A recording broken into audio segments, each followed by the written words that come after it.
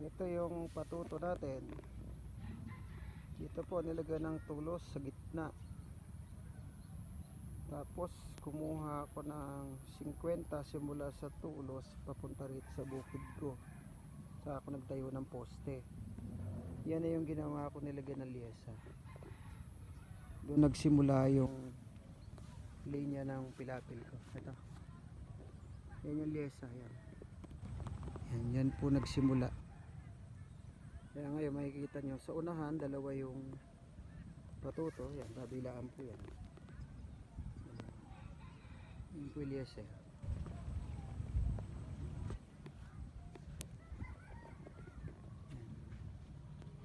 Kaya malapad dito. Yan. Yan. Pag tinalunton natin yung gitna ng yesa, makikita po niya yan. May nakatapat na tulos. Yan. Yan po, dyan po naka gilid yung yesa sa ibabaw. Alas katapat katapat po niya yan. Yan, yan. Ayan, ayan po yung lesa.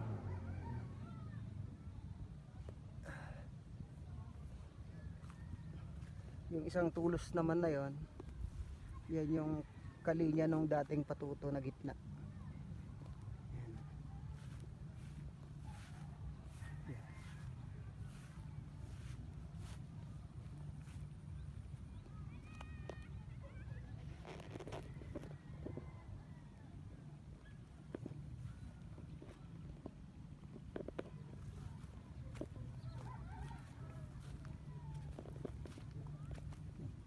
Nakikita po ninyo na.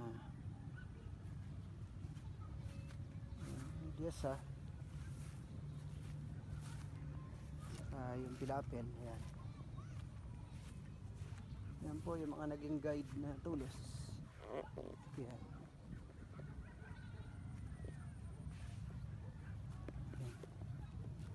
yan yan yung gitna ng dating patuto. Yan po yung may tanda na yan may mga blue na tali itong yellow ito naman po yung na-adjust ng 50 saka doon sa unahan naman yan sa pupuntahan natin na-adjust po to halos nasa mga 80 mga 80 halos po ito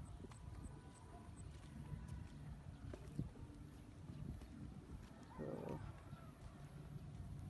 ina- inayos na lang po munang ganon para makapagtanim ako ng diretsyo. Kasi kung di lalagyan ng ganitong liyasa, magiging liko-liko yung tanim, magiging pangit. Pati yung pali, ah, pilapil, magiging liko-liko din.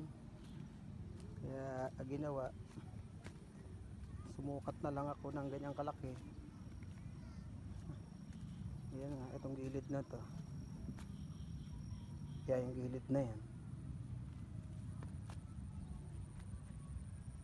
Kasi bala ko punta ni man eh. Ilalagay ako ng pinaka marker. Tatanim po ako ng siguro mahogany. Maintain ko na lang po na ang laki niya. Hindi ko na siya masyadong palalakihin. Maging parang hanggang poste lang ang laki niya. Para di lang po ako tayo ng tayo ng poste kasi nabubulok po yung kawayan eh tsaka ibayog eh eh kung mahogany po eh, magiging firme siya di siya nasisira kaya lang yun nga aatras ako ng pagtatanim dahil di naman po pwedeng isakto sa pagitan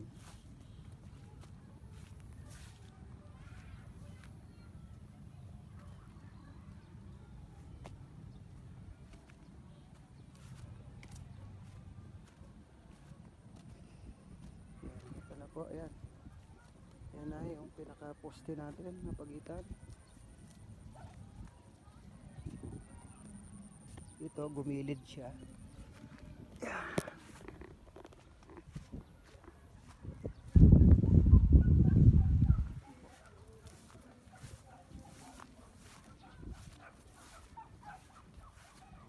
I-restore po natin yung pilapil na yan. Eh, binakbak po natin yan para yung mga butas eh, maiayos natin kasi kung yung lumang patuto lang po ang gagamitin, tutulo yung tubig. Kaya kailangan mo siyang bakbakin kahit kalahati lang.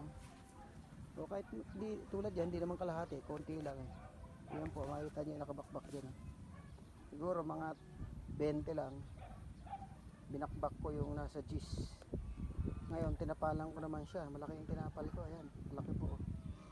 Hmm. Ganun lang po siya. Ito pong kawayan na to. Ito itong may blue. Ito yung gitna ng patuto. Ayan po. Ito namang isa, ito yung adjusted na na poste. Yan yung, pu- yung buko po na yan, 40 ang layo niyan dito sa yan, sa, sa gitna ng original na patuto. 40 yan. Yan, dito. Dito po, inadjust ko kasi dito dahil sa napag-usapan, pinaturo sa may-ari dito sa kabila kapitbahay. So sa tinuro niya, doon na lang sinunod yung liyasa.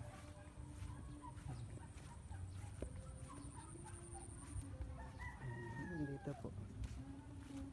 Hindi na doon sa bukid, dito na hanggang bakuran ay kinuhanan. Ayan, ito na po, hanggang dito na siya. Okay, hanggang dito na lang. Maraming salamat po.